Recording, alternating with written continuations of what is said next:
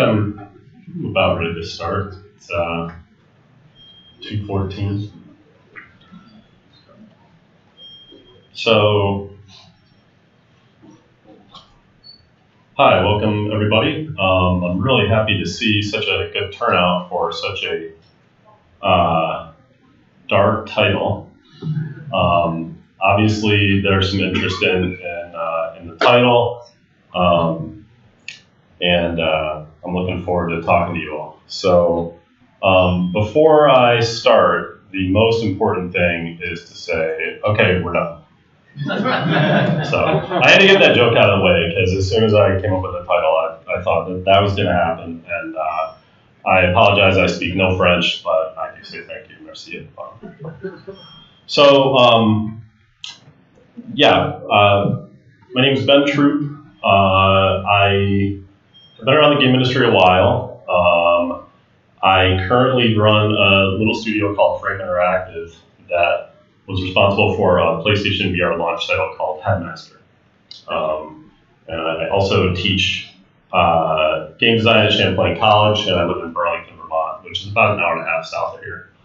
Um, and so previously, I was at Sony Bend Studio back when they were working on Syphon Filter, which for all you old people game like. Uh, and then I was an artist there, and then I moved to Vicarious Visions, had a couple different stints at, at um, and was a game director towards the Skylanders franchise days.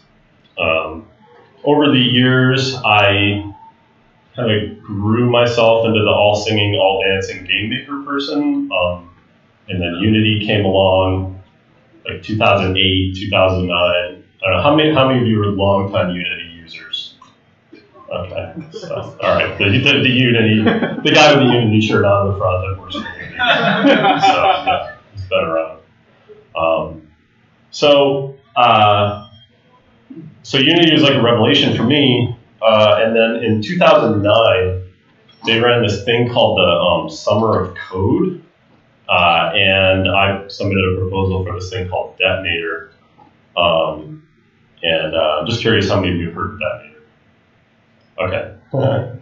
So uh, I'll tell. I'll talk more about that in a moment. Um, so um, so what this talk is is uh, about destroying things, destroying objects in Unity. Um, what you're seeing here is kind of a, a run through of all the different stuff that I'm going to show you. Um, I'm going to start really small, uh, just get a particle in there, and then I'm going to go through and build like multi-stage uh, explosions. Um, one of the things that I'm going to get into is how this integrates with game systems. I think that um, in the past, uh, done stuff that's just been about, oh, make a good effect, but the way that you interact with it is just as important. Um, and so, uh, just so you know, um, uh, really position this talk for people in the middle, um, programmers who like art, artists who like code, designers who hate everybody because they don't want to work with the programmers and the artists and they just want to figure stuff out. Uh, I think that the, the nice thing about the tool is that you don't have to fit into a predefined slot. You can you can uh, get in there and make visuals if you're a programmer, and um, you know I think that that's uh, that's one of the great things about it. And I also am interested in speaking to team leaders who have considered putting more destruction effects in their games. Uh, you know, even if you're a team of one and you're leading yourself, which I've been there, um, you should understand the scope of what you're doing before you get into it.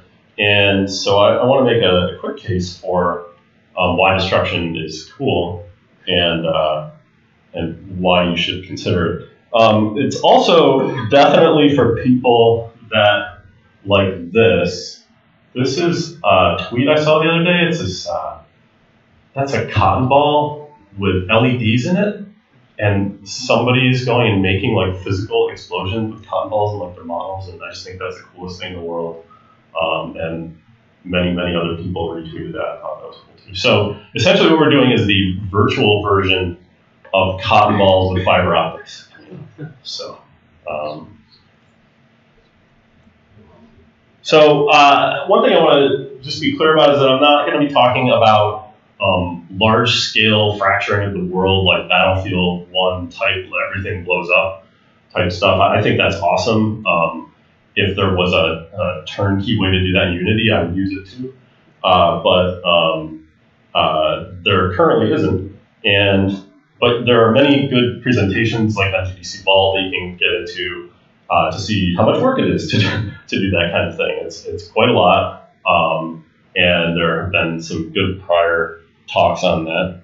Um, in terms of Unity for the large scale stuff, there there is there there are packages you can get. Um, you know, there's lots of attempts. These are the kind of the ones that I I saw as kind of the top of the heap. Um, they all have their upsides and downsides uh, as far as I'm concerned, but um, I, I kind of think that uh, the basics of just blowing up an object can often be too prescriptive in things that you get. Um, and so uh, I want to address that with this talk. So, um, so I want to talk a little bit about Detonator. So Detonator was this thing that I, I made in 2009, and, I call it a parametric explosion system. So I'm just going to show you um, what it was. So this is before the asset store. This is before Shuriken particles. Like this is this is when the particle system could like barely do anything. It could like draw particles. um, and so I built this thing that uh, let you kind of change some values in the inspector and get different kinds of explosions. And, and I made it to be totally customizable and, and all this stuff. And you could uh, wrap it all up into a prefab. Um, I did a lot of analysis about what goes into an explosion, kind of breaking it into like all the different components and built a component for each one. Um, but ultimately, uh, the way that so, and also I need to mention that it's uh, Asset Store ID one. I don't know if any of the Unity people are aware of this, but apparently, so they had like four things that they had people do for the summer of code, and then they were like, let's have an asset store. And they're like, let's fill it with our four things. And one of them was, uh, or the first one was Detonator. So it's gotten downloaded a lot. It's gotten a lot of use. Um, but I think that it's it's over the years proven to be a, a, little, I think, a disservice to people because it's sort of I've seen tutorials that are like learn how to do explosions in Unity, and it's like step one, download detonator and use the old particle system, and don't like don't have anything impressive. So I, I mean, I think that those are fine particles for 2009, but I don't think they're very impressive now. So um, updating that would require a lot of stuff, but honestly, things have changed, and I'm I'm really at this point if you look at the scope of everything that goes into destruction, it's a lot more than just the just the explosion. Um, and I think that the particle system in Unity has gotten a lot better. The rendering's gotten a lot better. It's not as hard to make a good explosion. So this talk is going to be, in, you know, for a good portion of it about how to um, build an explosion looks good. So um, when I talk about the leaders deciding if you're going to do things blowing up, you're going to things have parts and fracture. Uh, there's a lot of parts to it. Um, and something that uh, I'm wanting to, to do in this talk is combine the visuals of, um, of destruction with the game elements. And ultimately, uh, by the end, I will have a package that I'm going to post to GitHub. And I don't have a name for it yet, and maybe you can help me with that. But it's going to be a uh, collection of decoupled components that not only let you do explosions, um, but let you manage health and damage and breaking up objects. And it's kind of like a little prototyping kit for um, not blowing stuff up by hitting a button, but blowing stuff up by shooting it uh, and seeing what happens. So I think as far as game designers go, that should be a little more fun than just placing a prefab and watching an explosion, but then saying, how does that fit into my game? Um, and you know, how it fits into your game, I think I, I just want to make a quick case for why do this. Um, so I don't know how many of you know about like uh, behavioral psychology, and my wife is a behavior analyst. And one thing that she's taught me is that one thing people hate is being ignored. Like you might think punishment is bad. Try ignoring someone. That will make them mad. And destruction is a way of listening to the player. And I think that's why I'm so drawn to it is because starting out as an artist, kind of ending up more in programming and game design, I find that that moment of things blowing up is like the game saying, "Hi, I'm here. I, I believe you. You're powerful. You're awesome. I, you got it. Okay." So when I had a chance to make this game called Headmaster, which is a game that okay, so I found this mechanic about heading soccer balls in VR, and it ended up being inter- interesting for all kinds of strange ways. Um, so. Uh, I ended up kind of going a little further with it most people would go.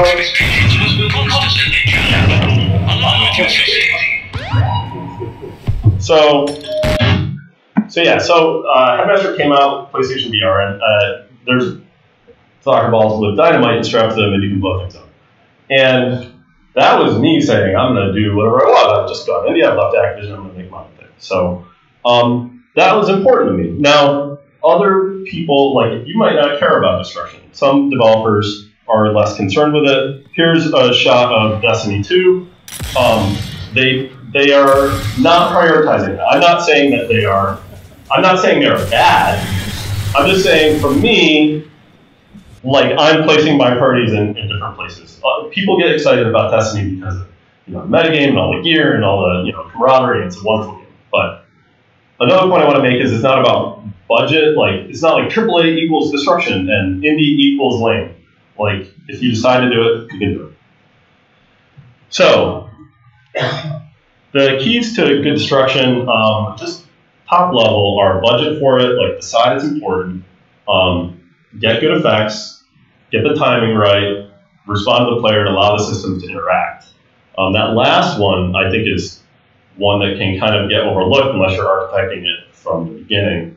Uh, and so um, I think that uh, as an example, when something explodes, does it deliver damage to a radius? Are those things listening for damage? If they get damaged, are they going to break? So, like, having all these components be decoupled will give your game a chance to surprise you. And ultimately, that's what that's the moment that I like the most in game development is when I build something and I play it and it does things that I didn't expect. So, um, anyway, it's a big, long-winded way of saying uh, destruction is important. It's not easy. It's inherently multidisciplinary. It is time-consuming, but I think that uh, it, it does pay off if you put the effort into it. So, I I have decided um, to uh, go with a high degree of difficulty presentation here. And so what I'm going to do is actually run through live demos of some things using this stuff. Uh, you know, I, I, just feel like I'll be able to talk to it, uh, you know, a little more more fluidly than if I were just talking over a video or something. Uh, it won't be as rehearsed as it would be, so I might screw up. Uh, it'll be really tense. It's going to be a lot of fun. So, uh, so anyway, um, so the first thing I want to get into in, in, in terms of the overall thing is uh, actually building an explosion. Um, so like I said, detonator was a thing that would let you drop a prefab in and get a old school explosion. You're using the old school thing. I want to show you how to build an explosion now. Like how, how would how would you go do it? And there are a few good packages um, on the asset store with assets to do that. You could, you could go do that, but um, it's not the hardest thing, and, and uh, things have changed uh, over the past you know several years in, in how to do this. So um, one of them is that the vast majority of explosions, even stylized ones, uh, are using like flipbooks, like animated textures. And so step one, I think for for anybody in okay, I'm going to start doing explosion work is get some good source. And uh, so I, I kind of sat down. I was like, okay, where can I find this stuff? And um, you know, there's excellent paid stock from uh, Action VFX and Shutterstock. Uh, it's not super cheap, but if your studio is like you can budget for that. Um, you can totally make your own if you're like a badass 3D artist, uh, Blender, like if you can understand Blender, you can do some amazing things.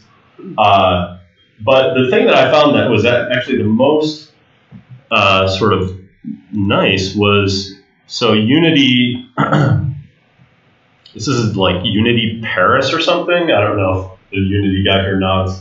Um, uh, so uh, Unity actually put out a, a, few resources that are really helpful in this regard.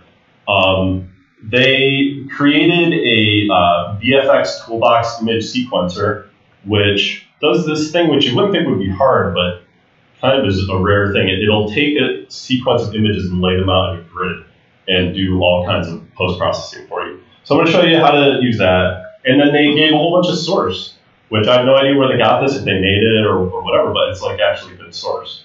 So, um, so yeah, I'm, I'm going to show you how to get that into a particle system and uh, and actually get it get it working. And I'm going to do that live. So okay, switching over to Unity.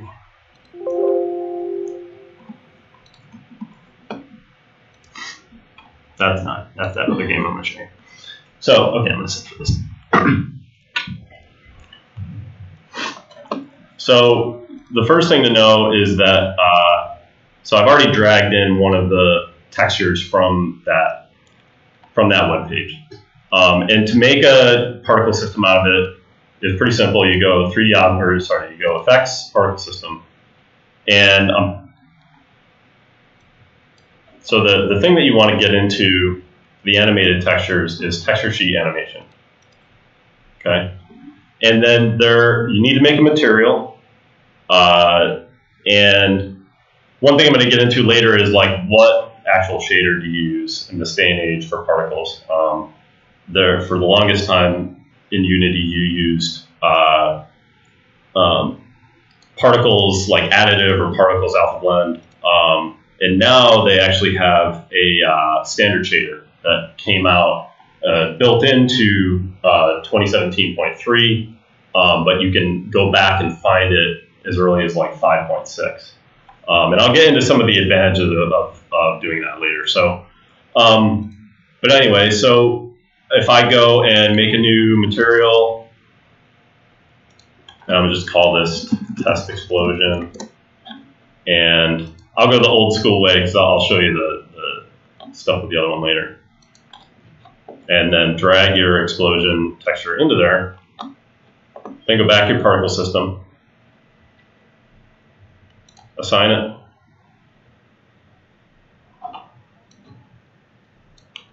And then you'll notice that, oh, okay, it didn't automatically turn into an explosion. Okay, so let's let's actually fix that.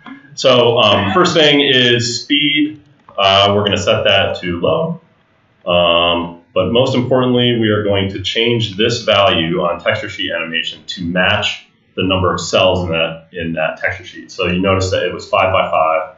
So I do five by five. So look at that. All of a sudden, I've got animated textures on there, and it doesn't look anything like an explosion. It looks like a million little explosions, but that's fine.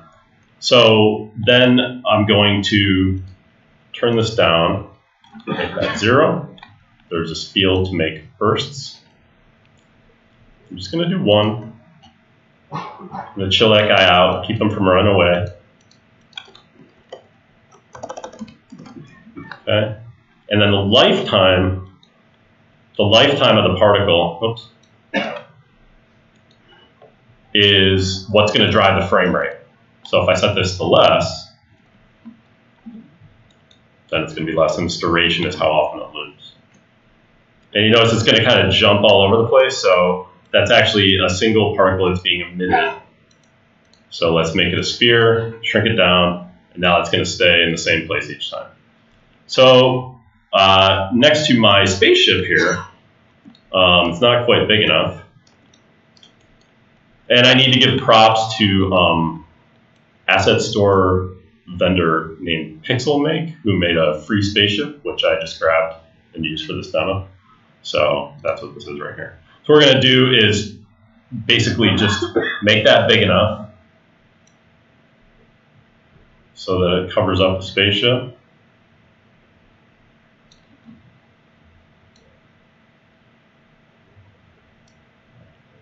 Okay, it's not like the most glorious thing in the world, but I mean, you're making a mobile game. That's not like the worst thing I ever saw.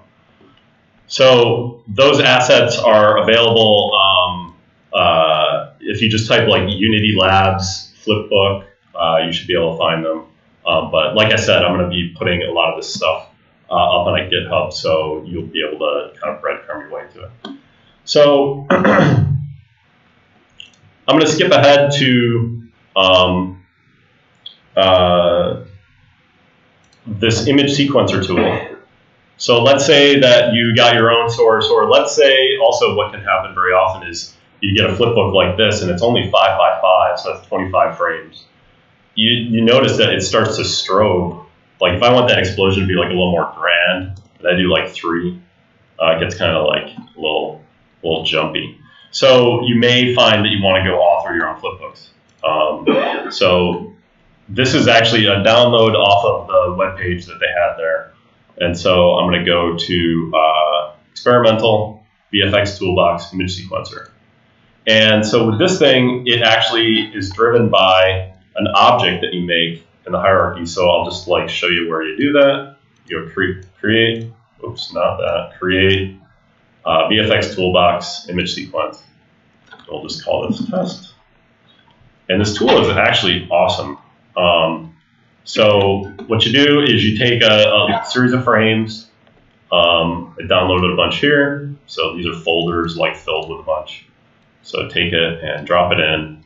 And now you have all these guys in here. You can drag this.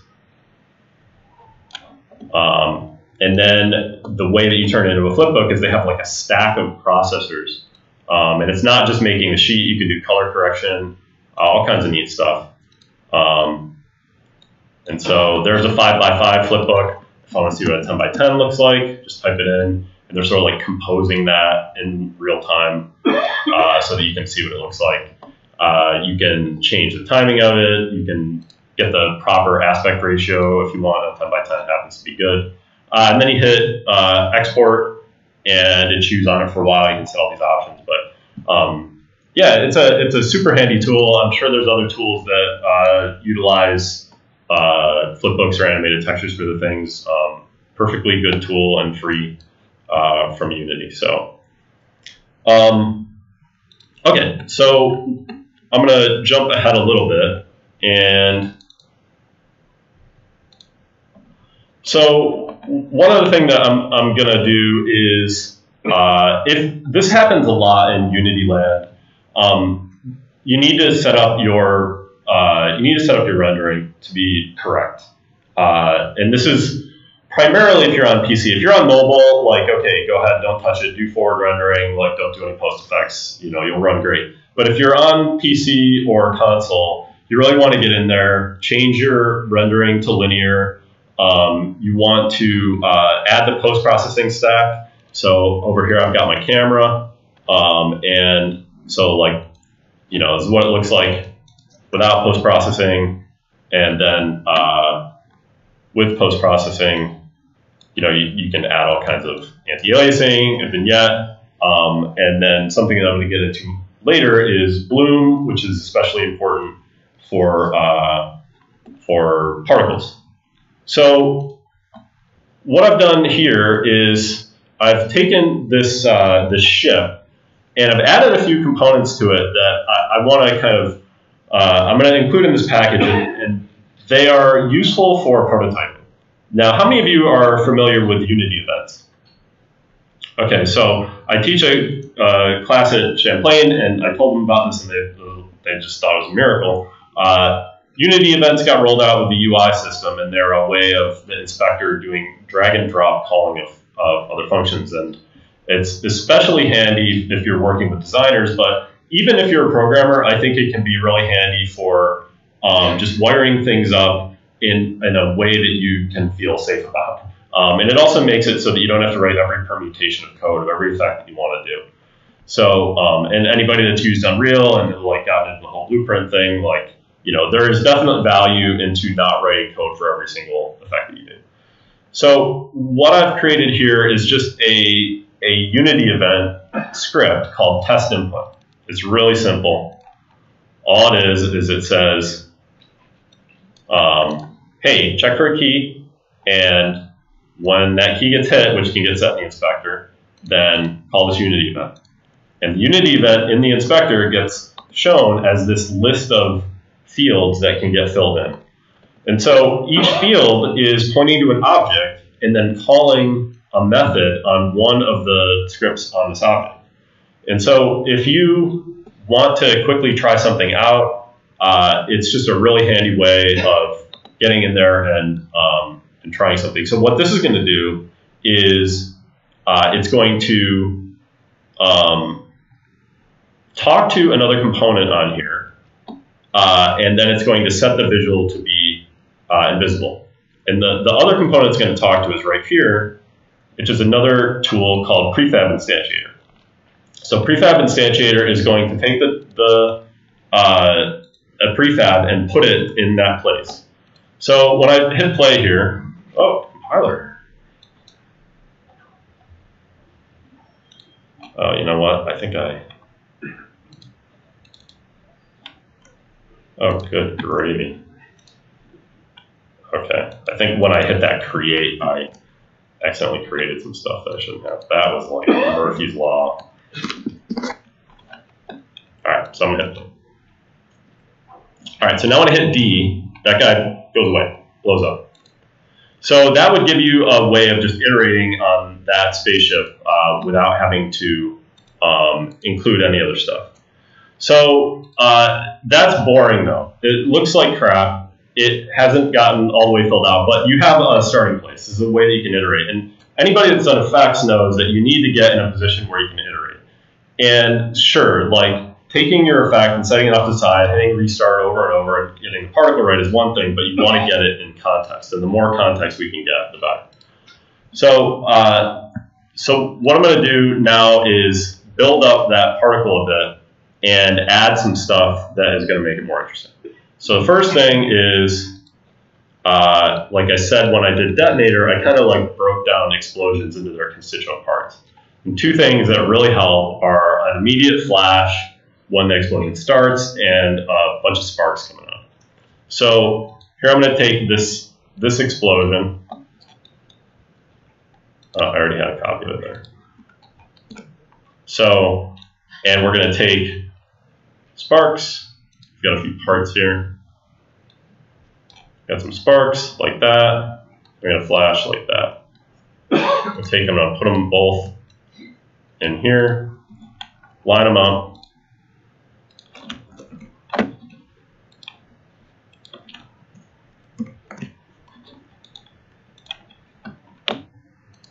apply that. Now let's see how this looks when we do this.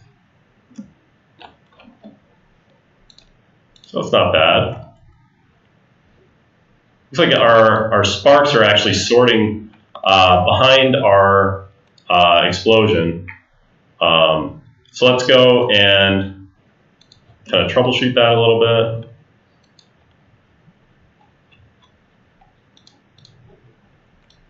So that you can control by changing. I mean, the position of the things does make a difference for like a top-down game.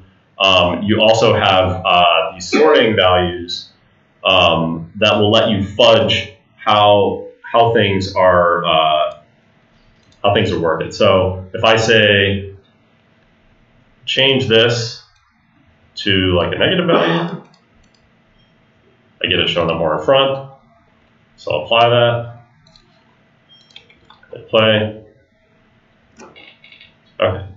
So we've kind of got like some building blocks here, uh, but something that I want to like stress as you're as you're going with this is that the rendering setup for particles is not optimal like by default. What you're probably used to in Unity is using these old style particles particle shaders, um, but they recently introduced the standard shader. Um, and uh, the standard shader actually is, um, uh, it can do all kinds of effects that you had to use different shaders for, that you had to, um, even like distortion, which, uh, you know, you had to like go hack the old glass or water shader um, or write your own. So it's just a really full featured thing that integrates with the particle system. So if we take and instead of uh, so here's here's a shader. This is actually the same explosion, but with HDR, and that has no flash on it. It's actually pushing into the overbright range. And when it goes off, it's actually creating a glow according to the bloom and the post-processing. The one thing you need to watch out for with this is that, so if I look at the material, so I've actually pushed the value of that texture above one. So when the when the renderer gets it, it says, oh, I, you know, you are exceeding the bounds of what's visual. I'm going to go into the bloom, and you can tune that to like this is this is the answer to your games which were blooming everything in the past. Now you can actually use the HDR values to decide what's going to bloom. The thing you need to watch out for with particle systems, though, is that as soon as you overdrive this value, all the color ranges on your uh, all the color ranges that you use on like color over lifetime, they need to be chilled out significantly. Because if those were what they would have been on a normal particle system, then the thing is just going to be overdriven the whole time. So that interplay actually is really valuable. Like on, a normal texture, uh, you're not going to have this kind of like color over time control, but on a particle system, you can overdrive the HDR value in the in the um, standard shader and then turn down the color and the color over time and kind of like tune it to hit the glow exactly when you want it to. So, um, and then, so from here on out, the examples I'm going to show are going to, uh, we're all going to be in HDR land. Okay. So now I, I, you know, I feel like for what I was showing you there, that was kind of like, hey, you're a programmer, you haven't done anything with effects you want to get uh, you want to you want to get some explosions going quickly. You don't want to go bug an artist. You know, you could do that. Um, now, who I'm really going to be speaking to is artists who want to be getting some interactivity in there and don't want to bother a programmer. Um, so let's go to uh, back to here.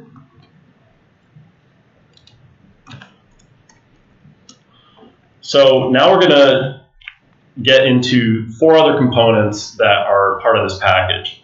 And I've really tried to write these in a way that is like generic. Um, so the first one is Damager.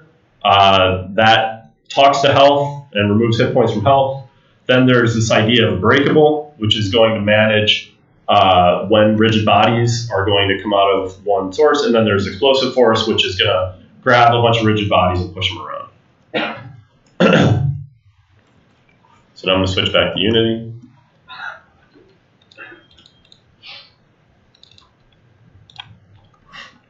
Okay, so the first thing I've done in this setup is uh, add some guns. And these guns are shooting lasers, and they don't do anything. I can still hit D though. So I've got a few spawners. They're just shooting ships down there. Uh, so we've got like kind of a cheap mobile top-down shooter where we can prototype some effects. So the lasers that these guns are shooting, uh, if I look right here, have a simple implementation of what, what I'm calling the damager. And so all that's doing is it's saying, hey, if I collide with something that's in the layer mask that I've defined, if it has a simple health, then I'll take damage on simple health. And I know you might be thinking you more, you know, seasoned programmers, oh, you should be decoupling this event. I do do some of that later, but I'm just trying to be direct with this. So uh, each of, so what I need to do at this point is get a health onto the ship so that it knows that it's been hit by a damager. So what I'm starting with from the prior scene is this test input. That's where I hit B, nothing happens when it gets hit a. So instead what I'm going to do is swap out that testing with simple health. And so it has just a couple fields. It's got hit points, and then it's got a unity event for what happens when you die. So really it's like the same model, but it's triggering, uh, triggering a bunch of stuff. So I'm going to just take the spawners, Oops. and where's this guy?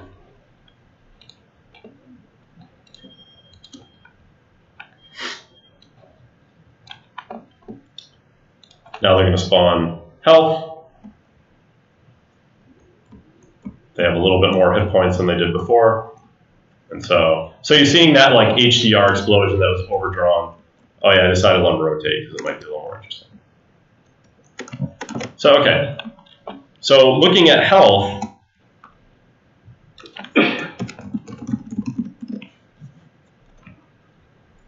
So again, it, the code in this is really not not that interesting. Oh, I did keep. So take damage is what gets called by the damager, and then it knows if it's run on hit points, then it calls die, and it's got a few um, helper routines to enable it to destroy itself. They can get called by the same unity event. So now what I want to do is set up um, set up a breakable and show how when that explosion happens, we want the pieces of the ship to go flying. So, oops. So I'm going to change out the spawner here and go to uh, breakable. Where's my buddy breakable? There.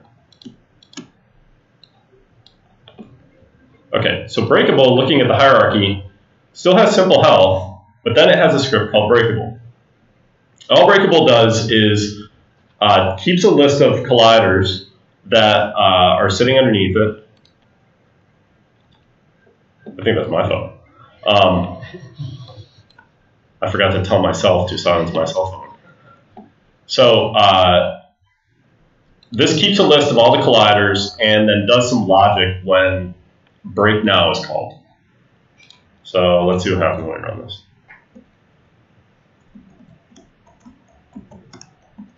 All right, so there's some things happening in here that still need some explanation, but it's definitely getting more interesting. So the first thing is let's look at breakable. So over time, uh, we've used Breakable a lot, and we use it a lot in Headmaster, and used it in this new prototype. And you know, it, it's a there's lots of ways to do managing of chunks, and you can go really crazy with it too. This is kind of like a foundation, but all this is saying is, hey, give me a list of rigid bodies, tell me when to break them, and I'll manage it for you. Now, there's a few different scenarios that you need to think about when you're doing breakables. Um, and this this is something which I just think if you're if you tried this stuff, you end up hitting on this, these issues. But if you haven't tried it, you, you won't know they're there. And really, that is that the way that Unity composes colliders. Um, I'm just going to go back to the deck for a little bit. So you need to know that if you put a rigid body over a hierarchy in Unity, it will it will look for colliders underneath it and it will compose one collider out of that whole thing. Now that can be really handy. Like say you don't want to use mesh colliders for everything, you want to make a bunch of boxes, you want to have them on individual game objects. The rigid body will treat that as one thing. It also gives you the benefit where if you need to catch on collision enter up on that component, then rigid body will actually catch it and pass it to that. Uh, so many cases that I've seen where people are, are doing um, breakable stuff, they'll actually put rigid body, like kinematic rigid bodies on each of the pieces beforehand. And then what that'll do is it'll make it so that the if those colliders get hit, the rigid body up top doesn't know about it, and you need to go through some gyrations to like get your, your actual on collision message passed to the right place. So that's just something to know about. Now you can do destruction by just instantiating a destroyed version of the thing. Like that's fine. Um, hide hide the spaceship, spawn the destroyed spaceship. Um, you know, but that's that's not as as uh, if, if your state of your objects has started to change, like maybe you have damage effects on them, you might want to keep those things around. Um, it might also be a heavier instantiation to you know bring a whole object back on. Uh, so there's a lot of different strategies for doing this, but in terms of building the hierarchy, you need to know about that. Um, so going back to Unity, let's run this again. So the other part is that these things go flying, uh, and there's a reason. And the reason for that is that the effect that is getting spawned by the ships. So that gets right here. So this is the effect. This is a particle, but then it has a component called explosive force. This kind of thing gets included in most of the Unity examples, and it's easy to, you know, easy to, you know, overlap sphere. You know, if you've, if you've done Unity tutorials, you've probably seen this. Uh, there's a few features that you can add to it that make it really handy, though. One is adding a fall-off curve and having it be uh, visual is really nice. And decoupling that from the amount of damage that the thing does can also be very handy. Um, uh, also, I like to add torque to it so I can control how much stuff spins. Um, and then there's a few other things about running on start, how it delays, uh, you know, layers that you want to affect. You can kind of build up your, your way that you do explosive forces um, to fit what you need. But uh, out of the box, most of the examples just like, hey, here, run it, have a force, have a radius.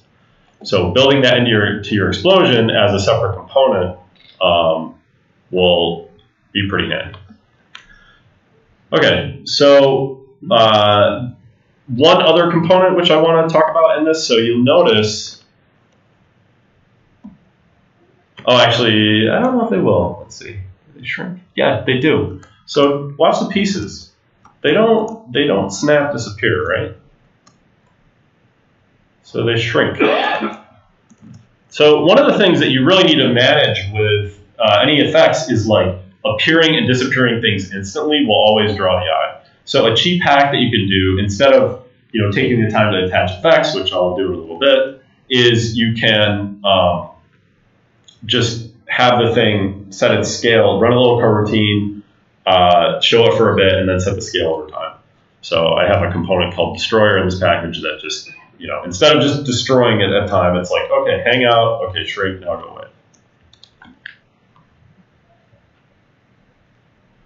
All right, so the, the last demo that includes the, uh, the spaceship stuff is I'm going to get into uh, what if we turn this ship into something a little bigger. Um, there's nothing saying this has to be a top-down shooter, so we're going to make this more like a cruiser, something that we could really appreciate. Um, so I'm going to shoot it, uh, and then, okay, I don't know, it's, it's okay you know, I made it bigger, tweaked the sparks. One trick that is very handy with um, explosions is the idea of a spray with uh, sub-emitter. So I'll show you what that looks like. So we're going to blow the thing up again. So now, now mind you, there's only one emitter difference from what you saw. And here's what's extra handy is that that's using the same material as the main explosion.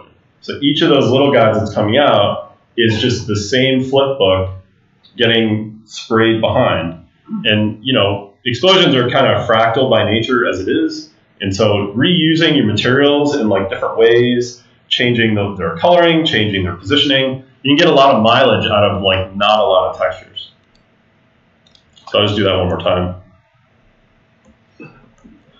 But there are some issues with this whole situation. Um, I am shooting this giant ship, and it is not doing anything. Uh, so I want to propose a little system here that comes in this package. It's called Damage Manager. Excuse me. And so I'm going to break down how this works. So we get some hit effects. So the way that these hit effects happen um, I don't know how, many of you have seen some of the recent talks about using scriptable objects for data uh, and for you know higher defining things instead of just cooking everything to your prefabs. Um, so two things about this whole system I think are, are a nice model. One is that uh, it's using scriptable objects to define interactions between physics materials. So it's saying, okay, uh, ship metal hit, um, you know, laser energy. So then, what is the effect that should get played? So that lives in some data. Um, so that's the default one. But like ship laser, okay, what's the health material? What's the damage material? Each the the laser the damager carries a physic material on it just because it's handy to have it instead of like a tag. You could just use that. Um, and then it defines the hit effect. And then we keep all that in a list uh, that lives here. And so this is like our list of all all of our uh, damage material or damage data is in the game. And then we have this little guy, damage manager, that keeps a handle on that list. And so, you know, I'm really in agreement with a lot of the, you know, people that are espousing using external data instead of prefab data for this stuff. And this is a way that you could have a whole team of, of artists going and defining this data. You can pile their stuff in there, like you want to have, um, you know, what kind of bullet pockmarks do you want? What kind of audio do you want to have? It's it's the perfect case for it because you don't want the object that is getting hit to care. You don't want the um, the bullet to care. Somebody's got to care, but you don't want you know you, you want some intermediary to be making this decision. Um, so damage manager uh, also relies on the way that it even knows about these things. Is I, have moved on from um, in the prior examples I had simple health and simple damager. Now I've just you know I, I made those examples to just show kind of like a non-confusing piece of code. Uh, but as you can see, this is actually dispatching a C sharp event uh, every time it's taking damage, and we're using a set of event args that we configure um, right at, at that time. It's a static event, so basically the damage manager just hangs out, listens for that static event to, to happen. Oh, it's like, oh, somebody took damage. I got a health that took damage. Where, where's the info? Okay, I got two colliders in the contact. I, I'm going to search through my list, find what um, find what data I need, get the effect, and I'm going to put it in the right place. And, and the ship and the laser are none the wiser.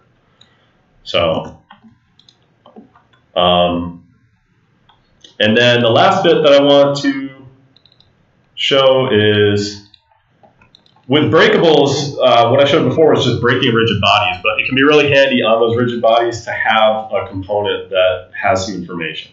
Um, and so the the ship here is actually going to be able to handle um, spawning effects on breaks, and it's going to start spawning uh, uh, sparks and smoke out of the mesh verts.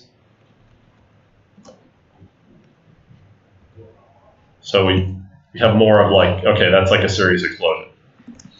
So, oh, and let me, oh, I forgot to mention this, but I love audio. Like, I, audio is super important to me. I did not include audio in this work, uh, but hug your audio person. hug, hug them hard. They love you. Don't abuse them. Um, I, I, I, I love audio. This is a silent presentation. Sorry. so uh, the way that this works is each one of those pieces has a breakable chunk uh, has an array of break effects, and the break effects are able to get assigned to the mesh render that they're next to. Um, the death effect is the explosion. Some parts I've assigned to be little explosions because the little pieces, some I've assigned to be big explosions because they're big. Made a bunch of other effects that all use the same exact stupid texture. So you're seeing in, in this whole thing, it's like, okay, I did make a smoke. There's a smoke in there. But this is two textures getting repeated a lot. Uh, and with HDR, you, you get a lot of mileage out of, uh, out of not a lot of stuff. So there's ways I would extend that um, that I didn't get around to yet, but I'd like to in the system. One is that it would be great if when you hit one breakable chunk, it communicated to the other ones and said to explode in some sort of distance so that you get like reaction. Uh, you know, you blow the ship up on the port side and it starts the explosion here and kind of ripples out. That's not you know difficult to do in this. I just ran out of time. Um, yeah, lots of lots of ways this could go. It's kind of like you know just pieces, and I think that anytime somebody's doing something in Unity, I, I like to get a bunch of pieces that don't know about each other way more than I like to get you know the all singing, all dancing system that you must use this way because you know I don't want to plug in that giant scary system which may get deprecated. Um, so yeah. So coming back to the PowerPoint, um, So the key points of an explosion: get good source, uh, set yourself up to iterate a lot quickly. Even if you don't have your, your game yet, you can figure out, you know, how's this going to feel when I shoot? How's it going to feel? And that damager can be like in, in the demo or the prototype I'm going to show you. That damager is used for melee. Like we use animation events to say, hey, damager, turn on when I'm doing this. So they're, they're very generic type things. And even if you don't take stuff from its package, like it's pretty basic stuff. Um, yeah, go through, do the do the song and dance to get the rendering set up right out of the box. Um, you know, I, I think uh, Unreal ends up looking great by default. Unity can look exactly the same if you do like five things. Uh, don't disappear your models or appear your models very abruptly when doing effects. Uh, manage repetition. Um, and then something I didn't get into, which uh, maybe people have answers for, is I've found that inherent velocity in like aerial explosions is like wacky. Like sometimes it works and sometimes it doesn't. I've made contrived cases where it behaves perfectly, and then I'll go try and plug it into like this thing, and it goes crazy. So, um, hey, if anybody knows the rules, the secret rules for inherent velocity on a world space particle system, please tell me. Um, I'd love to share it with everyone else. So the last thing I'm going to show you is kind of like, okay, I I love all of this stuff, and I've been doing explosions for a long time in various games. Um, so I, I, finally had a chance to do a, do a prototype, spend like a month with a good friend of mine, and you know I, I pitched him this idea. And um, so, how many of you know what this game is? Okay, so this game is called Myth Two. Um, this is a game uh, really about blowing stuff up, in my opinion. Now, sure, it's like a tactical real-time strategy game. Uh, there are, you know, lots of cerebral things to it, but the thing that always stuck with me was this little jerk, the dwarf, who has two things he can do. He's slow, but he's got Molotov cocktails, and he's got satchel charges. And you pretty much like he's in my he's like the most powerful unit in the game in a lot of ways, but you gotta deal with these hordes of enemies. And so I always wanted to make a game that was just like focused around those mechanics, like this this powerful but weak character um, that was like playing with fire and all the sort of emergence that came from that. So I pitched this to my friend, uh, whose name is Shandana Ekanayake, but he goes by Eka. Um, and he just left uh, Uber Entertainment, the makers of um, Monday Night Combat and uh, Planetary Annihilation. Um, anyway, he left, founded the studio called Outer Loop, and he had like a month slack. So we said, hey, let's uh, let's go try something. And so I'm going to show you like a quick video of it, and then I'm going to just kind of bounce around the Unity project and show some of the like interesting things. You can kind of think of it as like all the components that I showed you built out, you know, with more features, and I'll talk about them. So, no, not enjoying the app. So this is two minutes. So, so you're uh, you're basically a chemist. We're trying to figure out why you get only have Molotov cocktails. You're a chemist. So you got a hatchet and Molotov cocktails around your belt, and your lab has been taken over by aliens. So you're kind of going into the depths, and you have a few different verbs uh, and like I said, this is just a prototype. This is like, what would we do to play around with these mechanics? So that's the equivalent of the dwarf satchel charge. Um, and I have to I have to say that these effects I stubbed I didn't actually build those exact particles. Those are uh, Crypto two eight nine off the asset store. I'm just gonna be like totally frank about that. So these are many of the same components. It's uh, you know explosive force combined with damager to make that bomb.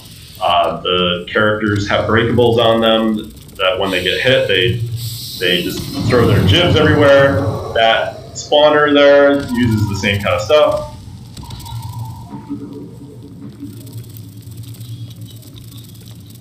So the idea with this game is that you can go and set up attacks. So you walk into a room, and you see a group of enemies that are all standing around, they're kind of like frozen until they've been awakened. And so if you go hit them with a hatchet, then of course they wake up. But uh, in the next scenario, you see you walk into a room and you just get a chance to kind of plan out your attack.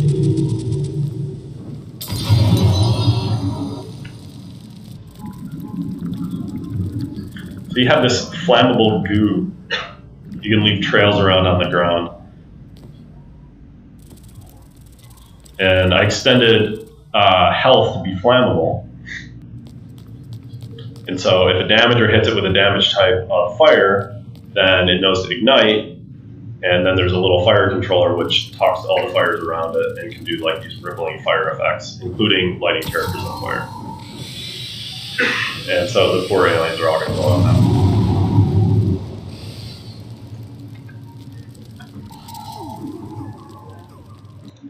So anyway, that is uh, we haven't announced this. Or, I mean, it's just like a prototype, but this is sort of like what would you know what would Ben do with these ideas if he got a chance to, to spend a month on something?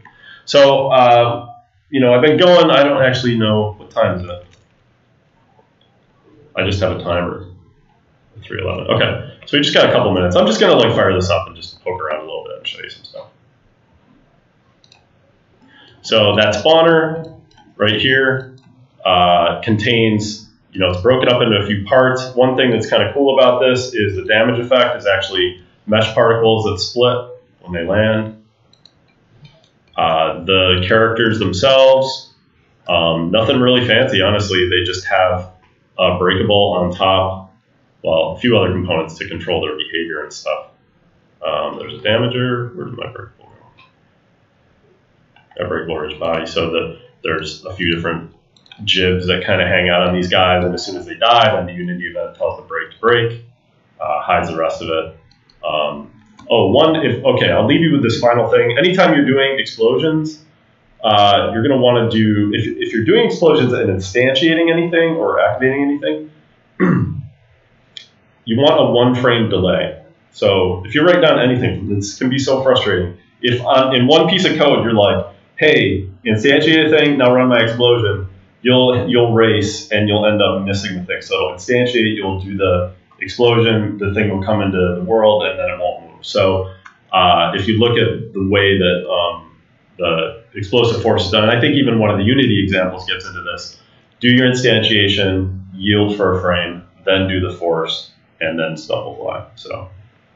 Um, yeah, so that was my crazy live demo of a whole bunch of stuff about explosions, and I am going to post this on uh, GitHub.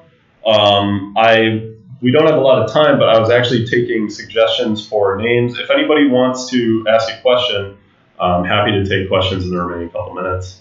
Um, and if you want to pitch me a name for this package, then I'll register the GitHub for it right now. Yeah. Destructo logic. Okay.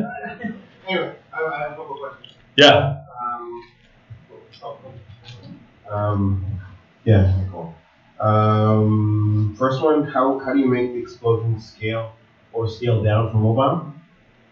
Uh, performance wise, you mean? Yeah, because um, like you have a whole lot of things happening, and um, yeah, there we go. There's a whole lot of things happening, and how do you make sure that you have less things happening for specific platforms? Sure, that was one thing that Detonator did was it had a detail slider or a detail value that just scaled the emissive count or the emitter count on each thing.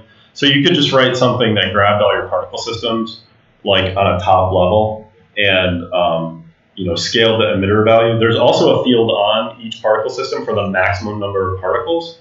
So you could just set that. That gets a little weird though, because sometimes you just see particles disappear that you don't want to disappear. The, the better thing to do would be to write a component walk through, find all the emitter parts of the um, particle systems and scale them by some some value for mobile. The other thing to do is to take your really nice particle effect and make a movie out of it and then turn it into a flipbook. That's like probably the the you know, and you could probably automate that if you were like a big studio with a lot of money. Uh, if you weren't, then you could take a lot of your own time to do that. Um, and uh, how do you how do you propagate the explode? uh, at one point in time we were talking about um, having the explosion propagate onto other parts of a specific object. Yeah.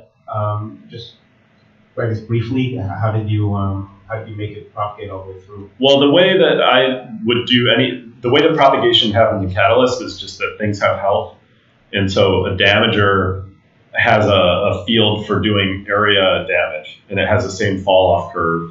Um, I don't know if I have a thing handy in here, but you can create a fall off curve for damage that gets done uh, by a like damager component. Goes and finds health. So just put health on things. And then the other thing is it, you'll find a great benefit if you put in something to manage time so that those things don't happen instantaneously. So like when we do ripple effects in here, we'll like put a little delay on there by the amount of by distance or time so that it goes like boom boom boom boom boom instead of like you can end up implementing that and just having the whole world like explode at once and it's like no fun. So you need to put a little bit of work into like making distance and time matter. Yeah. So destructo logic. That's uh, the current current winner. Anybody else have one? I got a headmaster T-shirt for uh, two more people. Give me some suggestions. I got headmaster T-shirts for you. What then? Boombox. Boombox. Ooh. I like that. Nobody else? Any other actual questions? Okay. Well, thank you all for coming and braving the snow and listening to uh, us talk about destruction. Appreciate it. Oh, did, Uh, my question is somewhat irrelevant. I was curious why, uh, why the character in Catalyst ended up suspiciously looking like Neil deGrasse Tyson. well, because it's a prototype and we're not actually like like selling it. We wanted to say scientist, so when we told the concept artist scientist, that's what he came back with. so, yeah, I, I don't think we will ship with that likeness. Yeah. okay, thanks. You get a T-shirt. Good job. Thanks. I always wish there was more time for like um, Yeah. tutorial style talks. Yeah, I mean, I would just go on and on. Great talk, man. thanks. Thanks for asking the question. Really, really solid. Um, Let me give you a T-shirt. Sweet. oh, What do you have to now? Where's that? I don't know. Pretty much crammed this thing. What size? uh, so, uh, medium large.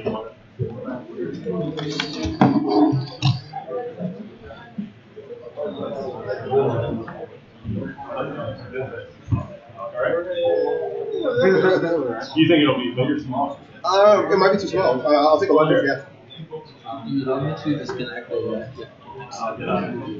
No, but take your time. We have uh, enough.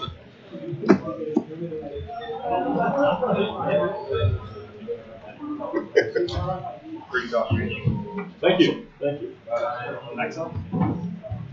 it's all, it's all, it's all, it's all good. But, but yeah, like um, when when you mentioned um, being a, like basically having to uh, quickly iterate. Yeah. Over the past little while, I was doing some Cocos2d-x, and um, because of the fact that I didn't have the Lua stuff uh, in, I just spent time putting Lua in so that I could quickly iterate. Otherwise, it made no sense, right? Like I, I have to compile and then I'll uh, compile again, make a small little change. Oh, it still doesn't make sense. Da, da, da. So yeah, like it's that's a must. I mean, if you don't have that, then you're not developing. Well, it's hard when you're working by yourself. You have to be able to stop forward progress would be the tool for myself so I can be Oh, yeah, yeah. Yes. Anyway, great talk. Great, great talk. Uh, Chris, I enjoyed the talk. Um, how will we be able to get? How will we know what the GitHub is? Yeah, right. Uh, yeah, I didn't even get contact. I remember. Um, I guess look, I don't know, you a- Twitter. That's true. When look look up on the look up on the um, MIGS info. Okay. Okay. Okay. Thank you. I just I recognize you. You're you're. Were you one of the rest? Yeah, I was. That was awesome. I was like in the front row for that, and I was so happy that you didn't get hurt. Unless you did get hurt. Just a little bit. Uh, you know the elbow drop part he did, so he has some actually with me. But um, I'm concerned just for you know, you gotta be willing to leave fears. Yeah, that's great. Alright, so I just want to say the talk, um, and I have an idea of the package, so Okay. blast. Okay. So the game, the have like all like the components and like myself. Yeah, yeah. I'm gonna clean it. I'm gonna clean it up and basically just let it out. Okay. Kind of. I don't want to put it that story.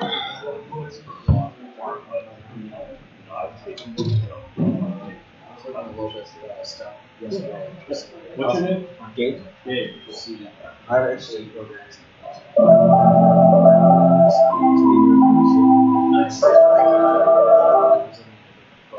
So yeah, I love game field. So this is Yeah, yeah. And I thought your game definitely had his. So. Are you just like are you the fighting Yes. like aficionado? I'm the I'm the programmer. Uh, Dick Aficionado was really the designer back in Aficionado. I thought you. Um, Thanks a lot. Here. Hi. Uh, I'm just so uh, if you look for GitHub and then my name, uh, you'll see my picture. It'll be it'll be on there. I haven't decided what to do. That's why I'm just talking before. Yeah, so Ben Throop, you'll see you'll GitHub photos. Cool. I hope you use it. Yeah, my game is not about explosion, but uh, I feel like if your game has healthy damage, it's more like uh, I have a cave, I want to like walk to walk down the Oh, okay. Like the environment. Yes. Okay. Yeah. More like this. Like. I use walk. Non, c'est cool. C'est pas. Yeah, yeah. My career. Did you- je did l'ai you- connaissais parce que les gens disent ça. Mais Cool. Yeah. Good luck with it. See you. See ya.